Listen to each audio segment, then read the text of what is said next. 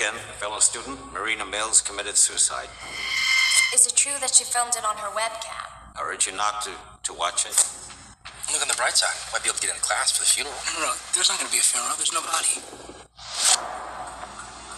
Oh my god. You posted. No, no, someone did. I didn't.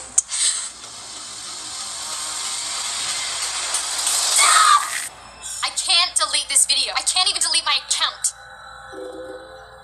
She's even back in my friends list. That is what code normally looks like, not this. What is it?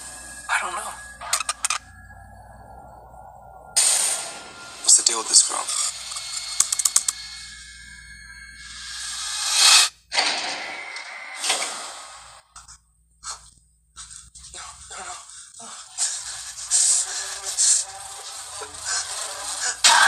Who was this girl?